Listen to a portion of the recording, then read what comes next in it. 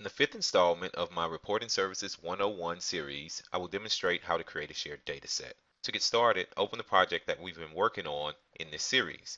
If you haven't been following along, you can download the project from my blog site. So let's open the project, locate the Solution Explorer, and right click on the folder labeled Shared Datasets. If the Solution Explorer is not open, go ahead and open it.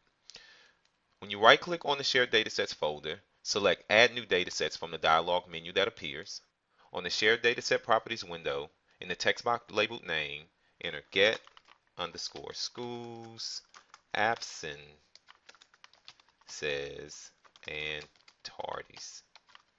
Select your shared data source from the drop-down list labeled Data Source. Select the radio button labeled Store Procedure. Click the drop-down box and select Get School Absences and Tardies underscore AGGR. Click on the item labeled Fields in the left section of the Shared Dataset Properties window. It will list all the fields that are available by that store procedure. Then select parameters from the same section and you will notice that one parameter is available. Click OK and the shared dataset has been created.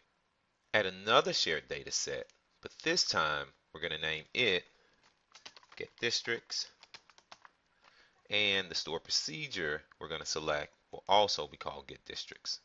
Click OK and now we've added two shared data sets to our project. Save the project as we will use it in subsequent videos.